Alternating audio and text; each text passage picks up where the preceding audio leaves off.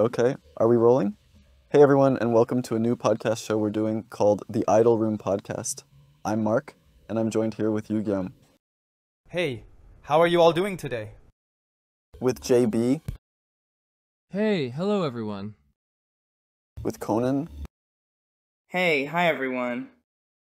and with Troye. Howdy. Howdy. Um, so we're doing something completely new here, and actually it was Jin from BTS who helped set everything up. Oh, Jin. Yeah, like he approached me the other day and said he had this great idea for a new project where we all get together and host a podcast, and he set everything up himself. He rented the studio, bought all the equipment, he did the graphic art, everything, and he was going to be on here on the show with us, but it turned out he had a major pipe burst, I think it was. I don't know, but he had a major flood in his house, so he couldn't come. But he sends his love anyway, Ah, that sucks. Yeah, but he said to go ahead and do the show without him, and he's going to try and be on for a later episode after he's dealt with the flood in his home or whatever's going on. Sorry, Jin. Wait, Jin's the crazy guy from BTS, right? The one who jokes all the time? Yeah, he's actually in charge of a lot of stuff down here. Like a lot of what goes on in New Eden, like he's seriously involved in pretty much everything down here. Oh, right.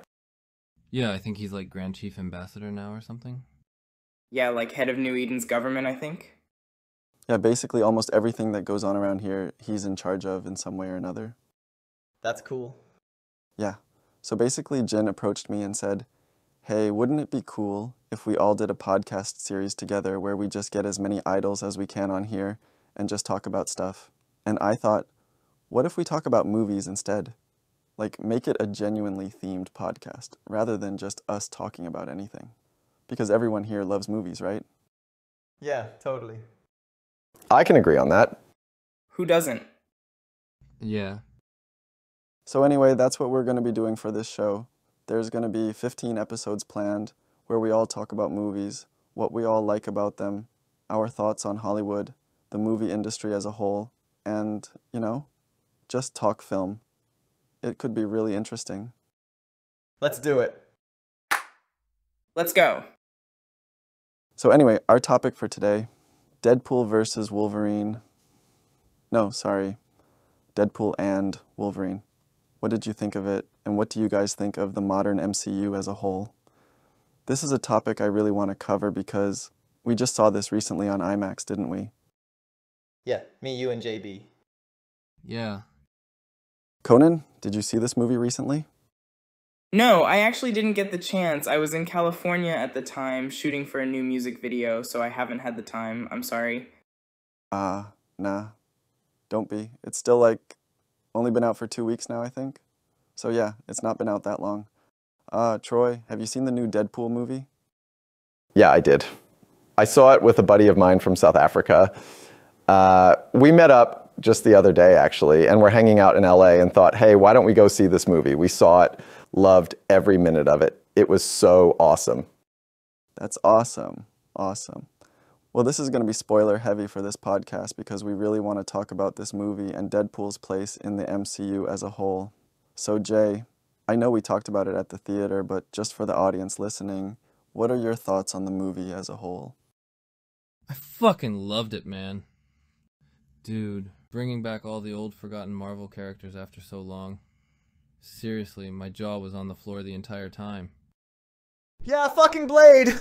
Oh my god! I seriously lost it when Wesley Snipes showed up. I was like, what the fuck? Dude, I remember your face in the cinema. You were like this. Oh! I could not stop laughing. That seriously blew me away as well, how they managed to get all those old Marvel characters in on this. Fucking Gambit, dude. Yeah, do you know the story behind that? Apparently, there had been a Gambit movie in production hell for over a decade and a half now, and Channing Tatum was always supposed to play Gambit, and it never happened. It was crazy. And Elektra too. Elektra, Blade, dude, fucking Chris Evans coming back as Johnny Storm. Seriously, I completely lost it. Yeah, I was like, wait, who was that at first? Then it hit me. He used to be in the Fantastic Four. Dude, that was fucking incredible. And that death scene, oh my gosh, that death scene. I still can't stop thinking about it. I was like, no, that was Chris Evans. Yeah, I legit thought they were going to show Captain America teaming up with Deadpool, and I was like, wait, why is Captain America down here? Best joke in the movie, hands down. I was not expecting that. That's what makes this so awesome. If you don't know what to expect going in, it really takes you by surprise, seeing all these cameos again. Yeah, what I love about this movie, it's like a perfect send off to the old Marvel Cinematic Universe. Because there was a time before the MCU where Marvel tried this and it just failed miserably. Ugh, tell me about it. Yeah, I mean, Blade was good. What else? I think the first Iron Man movie was pre MCU, wasn't it? Yeah, I don't know about that actually. I think both the Hulk movie and Iron Man franchise are both pre MCU, but are both considered canon to MCU. yeah, when did Disney buy Marvel anyway? I want to say, like, hold on, let me look it up. Hold on, real quick. 2009. On December 31st, 2009, the Walt Disney Company purchased Marvel Entertainment for $4 billion, is what it says on Wikipedia. So when did Iron Man come out? Let's see. Iron Man, Iron Man. 2008. May 2008 was when Iron Man 1 released. So, yeah, just pre MCU, but still canon to it all. But when did Disney establish the MCU? That's the real question. Let's see. 2008. The first MCU film, Iron Man 2008, began Phase 1, which culminated in the 2012 crossover film The Avengers. Phase 2 began with Iron Man 3 2013 and concluded with Ant Man 2015, while Phase 3 began with Captain America Civil War 2016 and concluded with Spider Man Far From Home 2019. Oh shit, I guess we're wrong then. Disney had this planned all along, it seems. Wow. Seriously, No Way Home was part of Phase 3? I thought that's when Phase 4 started. Well, yeah, that's what I wanted to talk about as well, actually. Because the MCU, let's face it, it's been completely downhill ever since Phase 3 ended, so let's talk about that, shall we? Yeah, I'm the same. I thought No Way Home was Phase 4 as well. Yeah, because they made a few duds in between, didn't they? Eternals? Eternals came out just before No Way Home did, so I'm guessing that was Phase 3 as well. Um, I'm looking at the wiki right now, but the dates are in a bit of a weird order, so bear with me a moment. Ant Man Quantumania wasn't that long ago, right? Like during the pandemic? Yeah, Ant Man Quantumania was 2023, so just after the pandemic ended, give or take. Depending on your area, I'm guessing. Yeah, man, I hated that movie. We actually went to see it together, didn't we? Yeah, we did. I remember you hated the crap out of Quantumania. Well, the first two movies were so good. Like, they were basic, simple movies about a superhero most people don't know about, but they went all out with them and put so much effort in. This just felt like, ah, it was a mess. Yeah, and Kang was a weak villain as well. Like, who the fuck is Kang anyway?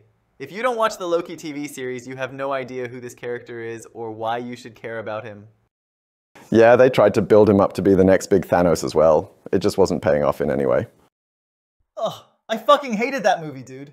Fucking, it was way too long as well. Yeah, I remember you totally dozed off during the third act. I had to keep shaking you. I was like, Yugyeom, wake up, man. Don't leave me to suffer through this alone. Oh, I hated it. Wasted Bill Murray cameo as well. The jokes were lame. Michelle Pfeiffer trying way too hard to be badass. Just, ugh, hated it. Yeah, one thing I really don't like, they keep putting important plot details in their streaming shows as well. So, like, if you haven't seen WandaVision or Loki, like you just mentioned earlier, Hawkeye. yeah, if you don't watch all the Disney Plus shows, you have no idea what's going on in these movies. Like Doctor Strange Multiverse of Madness. If you haven't watched every episode of WandaVision going in, you have no idea what the hell they're talking about throughout the entire thing. Yeah, that's the thing with Marvel, isn't it? You kind of have to see everything to get who these characters are and what's going on. And you gotta see them in order as well. Yeah, that's the thing. Bro, if you don't see every Marvel movie, every TV show, every single spin off, you have no idea what the hell's going on. No idea whatsoever.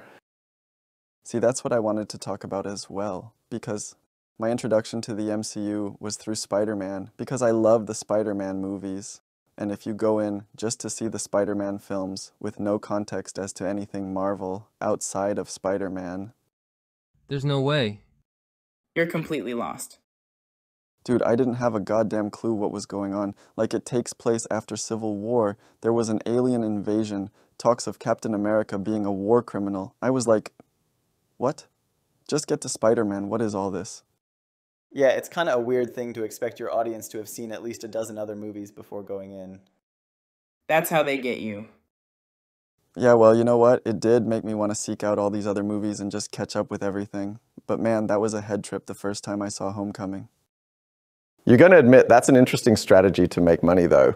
Sell a movie, convince everyone to see every single film in the entire franchise that came before it. Yeah, and that's the thing now. Everyone's seeing how that works and are trying their own take on it. The Justice League. Ugh, the fucking DCU is such a goddamn mess, man. It's such a mess. Is Ezra Miller still playing The Flash, by the way? No, there's no way. I would be shocked if he still was at this point. I mean, holy shit, if he still is. Holy shit. Yeah, I think there was some legal hell with Warner Brothers where they couldn't get rid of him or something. Yeah, hold on. I'm going to look that up real quick because I was wondering about that as well, actually. Hold on. Honestly, it would be kind of fucked up if he was still getting work in Hollywood after all that stuff about him came to light. I mean, he had a 17 year old he was grooming in his ranch. Oh my god, really? Like, I knew that guy was a train wreck, but holy shit. Yeah, I remember watching a documentary about that actually. He had all kinds of guns and drugs in this weird hippie commune thing he had going on. Yeah, he choked that one girl as well. Just this whole creepy Charles Manson vibe he had going on. That's messed up, man. I remember him in Perks of Being a Wallflower. I thought he was so good in that movie. I was like, dude, this is a guy I could watch on TV forever, you know? Yeah, did you ever see him in We Need to Talk About Kevin? No, I know he was in the Fantastic Beast films, though. Okay, I just looked it up. According to a new report from Variety, DC Studios will part ways with all its major Justice League stars, including Ezra Miller's Flash, for the new DCU reboot set to launch next year under James Gunn and Peter Safran. And that was from October 15th, 2023. So, yeah, I guess he's out. Thank God. Apparently, they were really fighting to keep him on as well. Like, there's so many conflicting reports about it. The DCU is trash, man. I don't know, they're really making a comeback with the new Joker movies. Yeah, Joker and Harley Quinn's coming this year, I think. I really want to see that. Lady Gaga as Harley. That's going to be so cool to see. Yeah, I saw the trailers for that actually. I really want to see it as well. Dude, let's go together. Yeah, I'm down. Let's do it. Yeah, I wanted to save Batman for a later topic because I really want to talk about the DCU movies as well in a later episode, but I do think it's interesting that Batman is like the only DCU franchise people care about. Yeah, because the DCU is fucking trash, man. I mean, when you got the Green Lantern, Aquaman, and Wonder Woman to look forward to, is it any wonder Marvel still wins? like, even at its worst, Marvel still barely has to try with the DCU. It's just such fucking trash, man. Well, they got James Gunn coming in to reboot it next year, so you never know. James Gunn did the Guardians movies, right? Yeah, Guardians of the Galaxy 3 was his last Marvel movie. Now he's moved on to DC. Uh, I don't know, man. I mean, Batman I love, but fucking DC, man, it's such a mess. That might be a good place to end it actually because I want to save DC for a future episode of the show. Are we wrapping up already? Yeah, man, I think we're all good, right? Yeah, I mean, we pretty much covered everything, I think. Yeah, I'm good. Yugyeom? Fucking DC, man.